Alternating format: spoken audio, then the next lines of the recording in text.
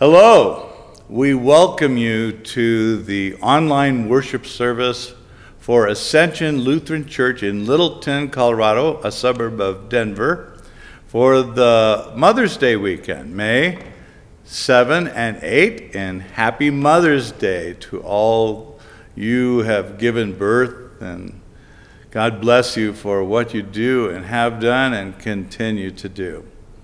I'm Pastor Mike Zehnder normally serving here at Ascension as the minister of music. And normally preaching and bringing this service to you is our pastor, John Larson. And I have bad news. Well, bad news and good news, happy ending. But Pastor Larson was involved in a very serious accident in Gallup, New Mexico just yesterday. He had been visiting his father Russ and his mom in Phoenix, Arizona and he was on his way back and he was hit uh, head on in a in a terrible car accident.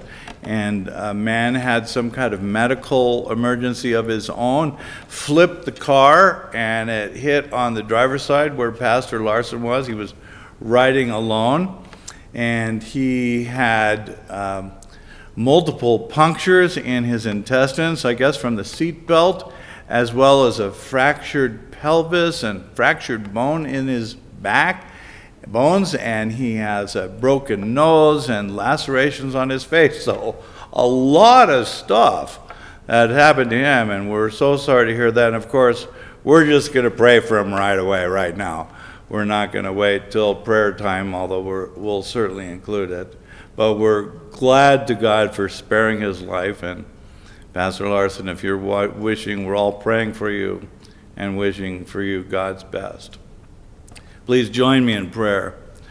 Dear Lord Jesus, we thank you, first of all, that you have spared Pastor Larson his life, that your angels guarded him, and even though that he has experienced this horrible accident, we um, are grateful that you have kept him for us and that he has more years of ministry ahead and that he's gone successfully through his surgery. And now we pray for his recovery and his health and uh, that you would keep him out of pain and give comfort to his wife Marilyn and his folks and his children. And uh, we look forward to seeing what you're going to do, Lord, but we pray for your healing. In Jesus' precious name, amen.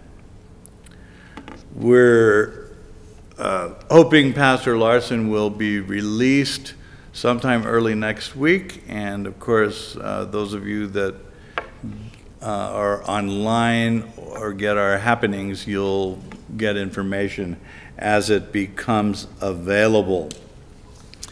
Well, today we are going to uh, hear a message about John uh, John chapter 20, where Thomas said, Unless I see the wounds of Jesus, I will not believe. So we're going to begin by hearing a prelude of praise for Jesus and all he has done, called Ye Watchers and Ye Holy Ones. The German for this is Lasst uns erfreuen. And uh, this tune exists in a number of hymns in our hymnal. And in the Reformation Day, interestingly enough, it was called the Queen of Chorales. So enjoy as we hear the prelude on Ye Watchers and Ye Holy Ones by David Shack.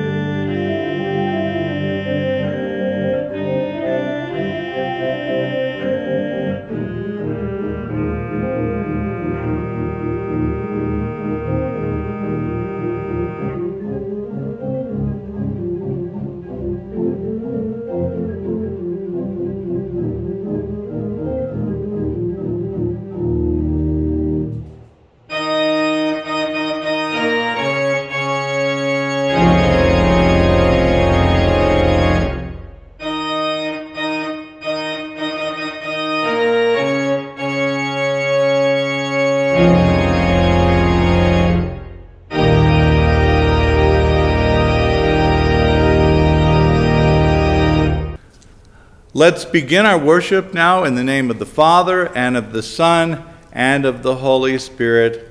Amen.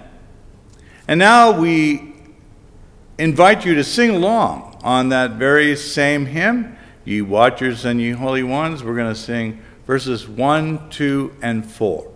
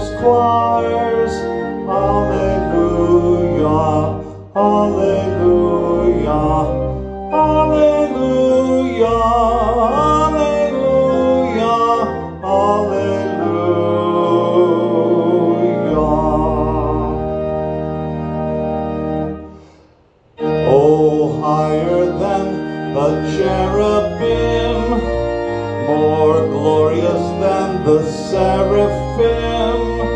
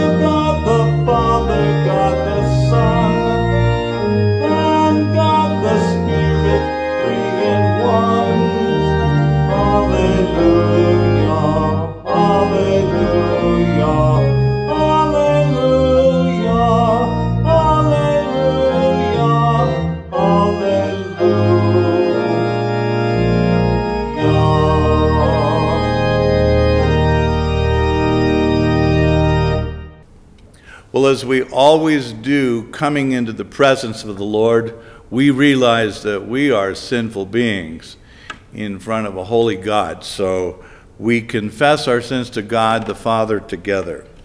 Most merciful God, we confess that we are by nature sinful and unclean. We have sinned against you in thought, word, and deed, by what we have done and by what we have left undone. We have not loved you with our whole heart we have not loved our neighbors as ourselves. We justly deserve your present and eternal punishment. For the sake of your Son, Jesus Christ, have mercy on us. Forgive us, renew us, and lead us so that we may delight in your will and walk in your ways to the glory of your holy name. Amen. I bring you good news. The Lord doesn't give us what we deserve, but he gives us what we need. Instead of the judgment that we deserve, he gives us his mercy and forgiveness that we do not deserve. So it is my privilege to announce to you the full and free forgiveness of Jesus Christ, who died for your sins on the cross. If you believe in him and confess with your mouth that he is the Son of God, and know that he has risen from the dead, your sins are fully forgiven. In the name of the Father, and of the Son, and of the Holy Spirit. Amen. Our scripture for today, as I mentioned earlier, is from John 20, starting at verse 19. Jesus appears to his disciples. On the evening of that first day of the week, when the disciples were together, with the doors locked for fear of the Jew, the Jewish leaders, Jesus came and stood among them and said, Peace be with you. After he said this, he showed them his hands and side, and the disciples were overjoyed when they saw the Lord. Again, Jesus said, Peace be with you. As the Father has sent me, I am sending you. And with that, he breathed on them and said, Receive the Holy Spirit. If you forgive anyone's sins, they are forgiven. If you do not forgive them, they are not forgiven. And indeed, that's just what happened in our confession and absolution. Now, Thomas, also known as Didymus, which means the twin, he was one of the twelve. He was not with the disciples when Jesus came, so the other disciples told him, We have seen the Lord. But he said to them, Unless I see the nail marks in his hands, and put my fingers where the nails were, and put my hand into his side, I will not believe. A week later, his disciples were in the house again, and Thomas was with them. And though the doors were locked, Jesus came and stood among them and said, Peace be with you. And then he said to Thomas, Put your finger here, see my hands. Reach out your hand and put it into my side. Now stop doubting and believe. And Thomas said to him, My Lord and my God. And Jesus told him, Because you have seen me, you have believed. Blessed are those who have not seen and yet have believed. Jesus performed many other signs in the presence of his disciples, which are not recorded in this book, but these are written that you may believe that Jesus is the Messiah, the Son of God, and by believing that you might have life in his name. Our sermon to, title today is called The Bummer Lamb. And this sermon was written by Pastor Larson ahead of time in anticipation that he was going to actually be gone to Phoenix until today. So these are not my sermonic thoughts, these are Pastor Larson's, and I am just presenting them to you today. So here is his message. He writes about a woman named Pamela Hiscox, who was a young lady that died of, of an early age, and she wrote an article called The Bummer Lamb. And here's what she had to say. Every once in a while, a ewe will give birth to a lamb and reject it. There are many reasons why she may do this. If a lamb is returned to the ewe, the mother may kick or push the animal away. Once a ewe rejects one of her lambs, she will never change her mind. These little lambs will hang their heads so low it looks like something is wrong with its neck, but its spirit is broken. And these lambs are called bummer lambs. Unless the shepherd intervenes, the lamb will die all alone, rejected. And so, do you know what the shepherd does? He takes that little rejected one into his home. He hand feeds it, keeps it warm by the fire. He'll wrap it with blankets and hold it to his chest so that the bummer lamb can hear his heartbeat. And once the lamb is strong enough, the shepherd will place it back into the field with the rest of the flock. And that sheep never forgets how the shepherd cared for him when his mother rejected him and when the shepherd calls the flock, guess who runs to him first? That's right, the bummer lamb. He knows the shepherd's voice intimately.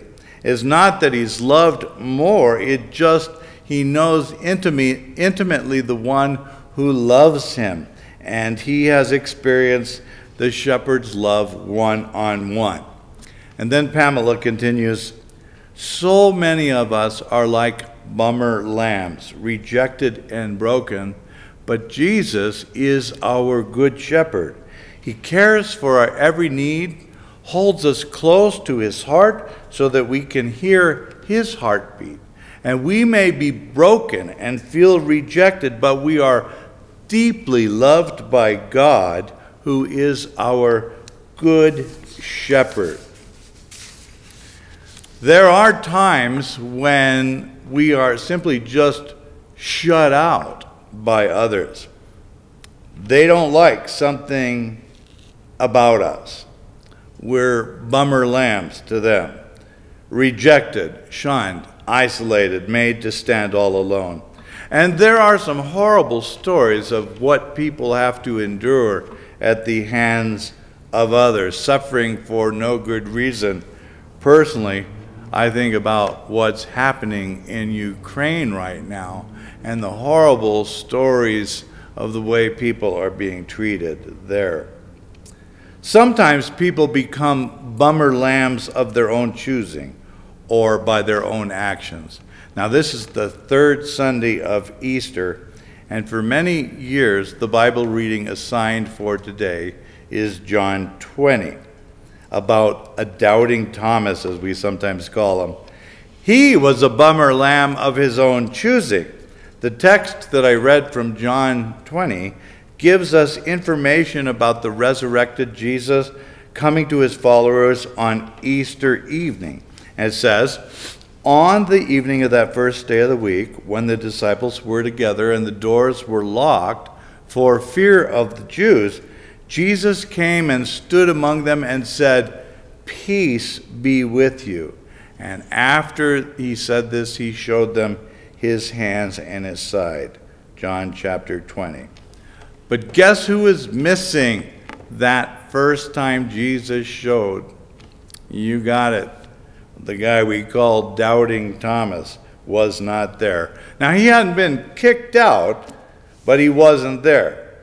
And during the week following the resurrection, Thomas was told over and over that the disciples had seen Jesus and seen the scars from his crucifixion, but he refused to believe it. And even though Jesus was scarred, he was resurrected, he was alive. But Thomas, choosing to be a bummer lamb, rejected the words and he said, Unless I see the nail marks in his hands and put my finger in his side and where the nails were, I will not believe it. So, the shepherd comes looking for the bummer lamb whose head was bowed low, who had no hope, no faith, no future or promise. And a week later, week after that happened, Thomas was with the disciples this time. And even though the doors were locked, it said that Jesus came and stood among them and said, Peace be with you. And then he turned to Thomas and said, Okay, put your finger here, put your fingers in my hands, see my scars, reach out, put your hand in my side, and now stop doubting and believe. See, that's what Jesus does for all of us.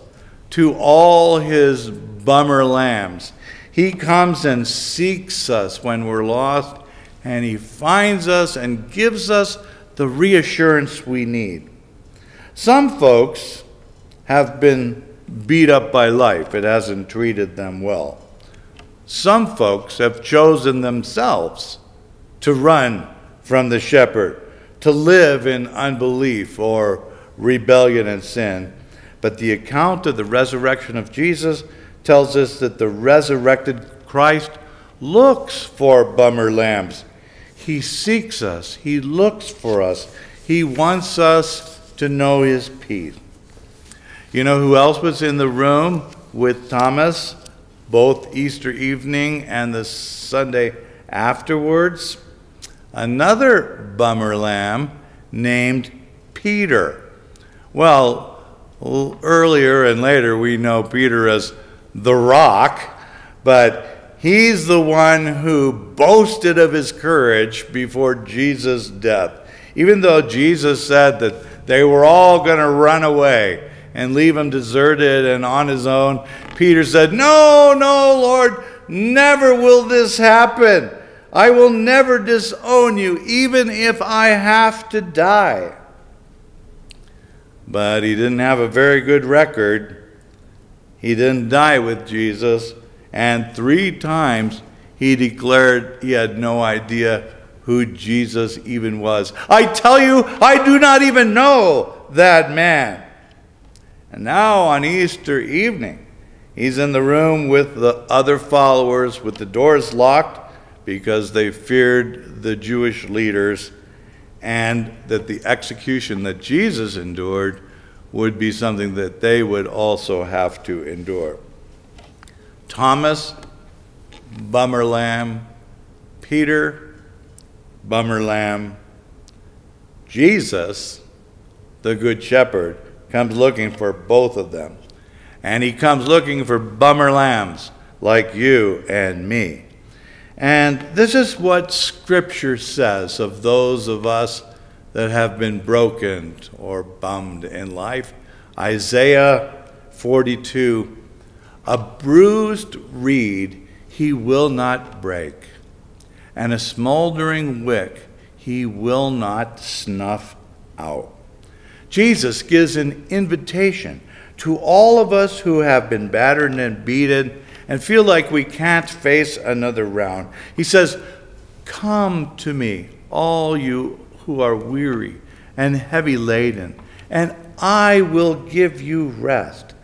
Take my yoke upon me and learn from me, for I am gentle and humble of heart, and you will find rest for your souls. My yoke is easy, and my burden is light. Matthew 11.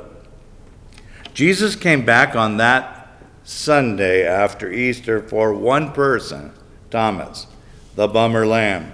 He had lost his faith, he had lost hope. Jesus took it embraced him, held him close to his heart, and the lost lamb would look at Jesus and realize there was hope. And he confessed his faith.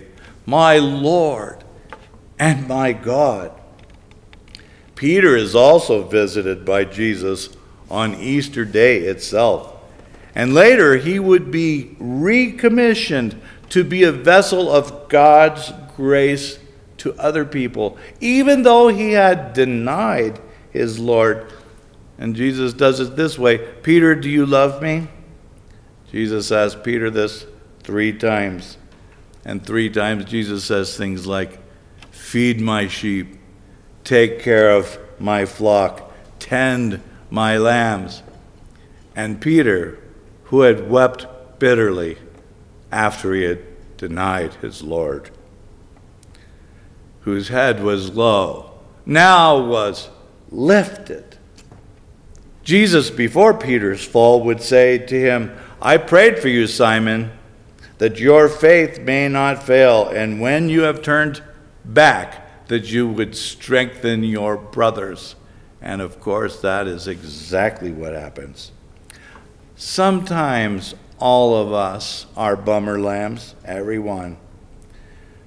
Pastor was told that while enduring this pandemic, an Italian wife had had just a little too much of her husband during the endless quarantine, and she hung a big sign over her balcony that said, Husband for sale.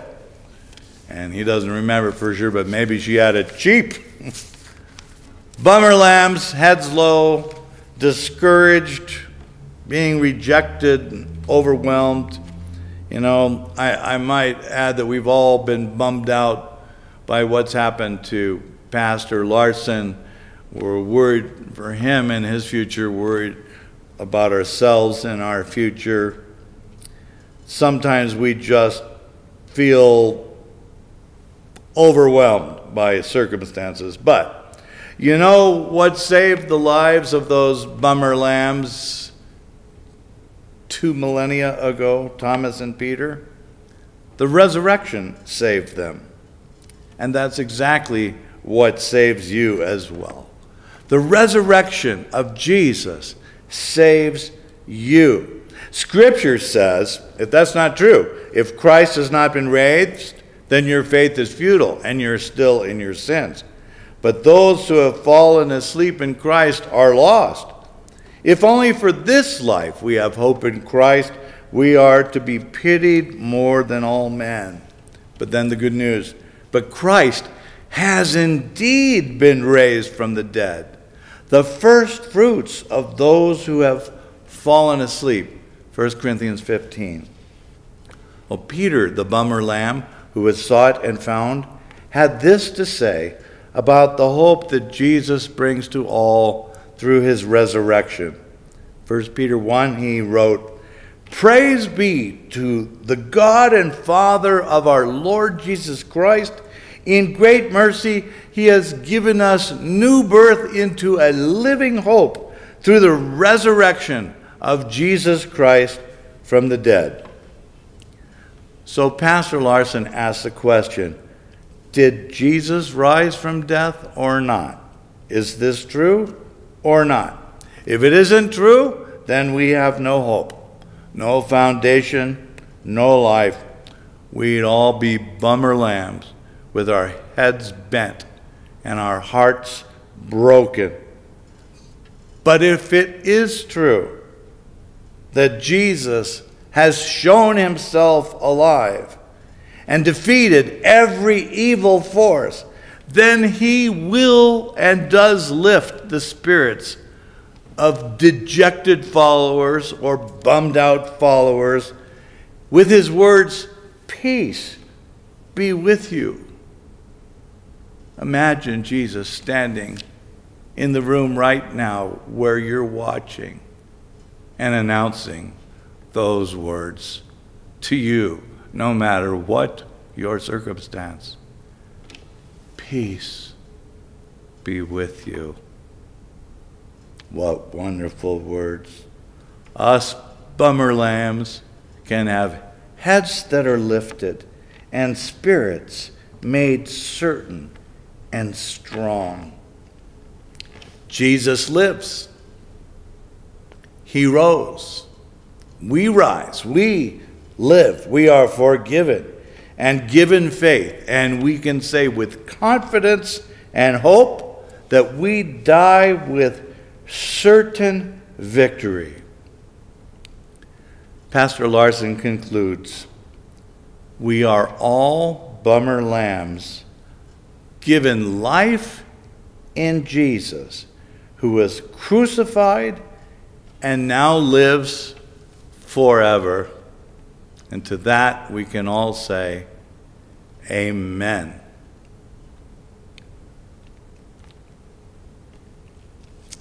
So it's time now to join our hearts together in prayer.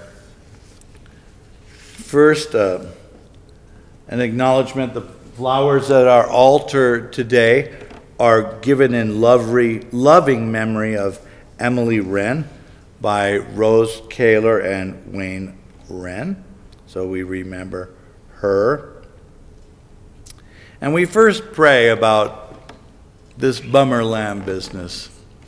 Dear Lord, when we feel defeated by circumstances in our life, or things that happen to us or to those that we love, we pray that you would come and speak to our hearts with your words. Peace be with you. Quiet. Be still.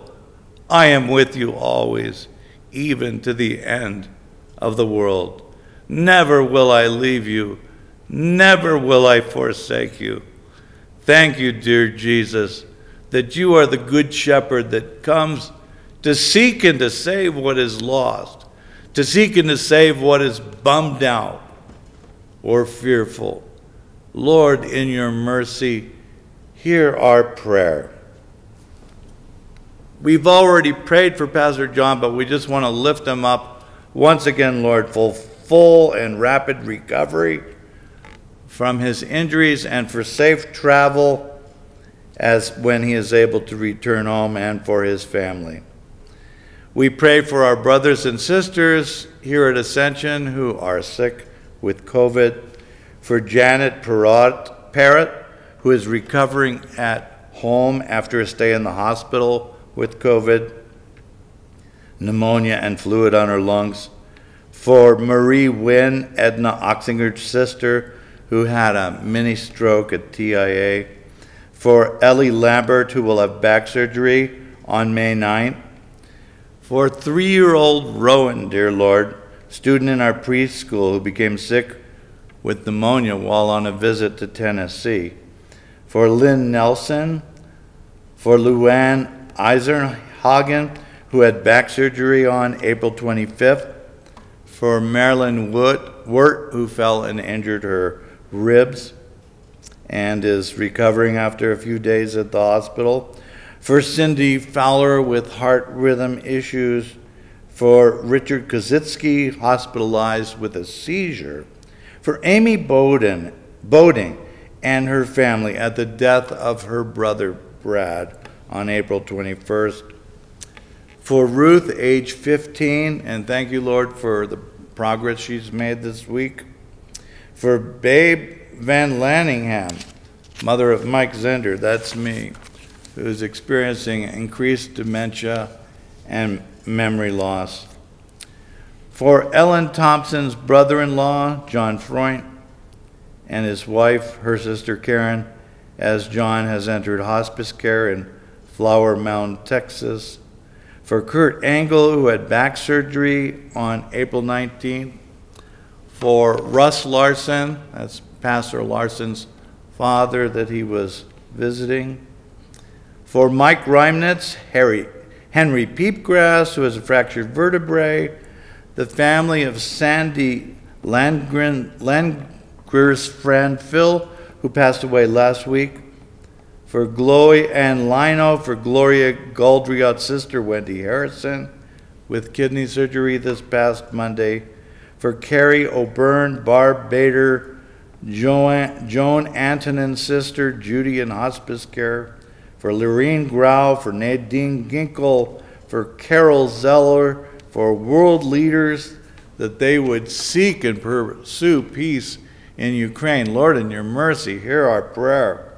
For our country and our government to do all that it can to stop the suffering at our southern border. Lord, in your mercy, hear our prayer, and for the people of Afghanistan who are experiencing hunger and displacement, and for God's mighty hand to bring an end to this virus.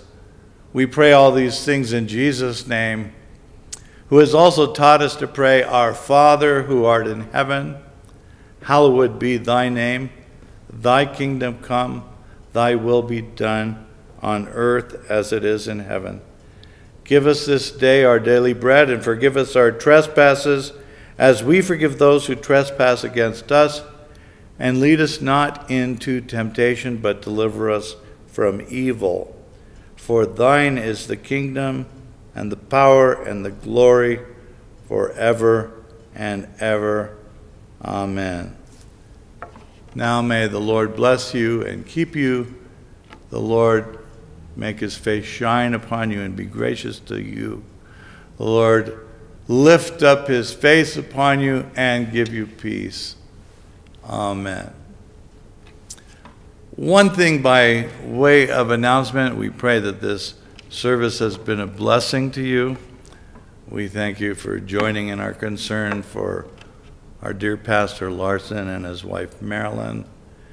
Um, we'll keep you posted as to when he might possibly come home. And if there are any special needs that we can be helpful of as a congregation, you may know, for those of you that uh, attend live worship on Saturdays or Sundays, that our schedule was going to change on June 5th. And instead of having two services on Sunday morning, we were just going to have one at 9 o'clock the elders are now discussing about moving that up a little earlier because of what's happened to Pastor Larson to as early as next week, May 15th. So we may be starting a new schedule. If you're attending worship live, please check our website at uh, alutheran.com or listen to the um, uh, message on the church voicemail or read it in our newsletter. Now we pray that you'll have a very blessed week, very happy Mother's Day, and thank you for joining us.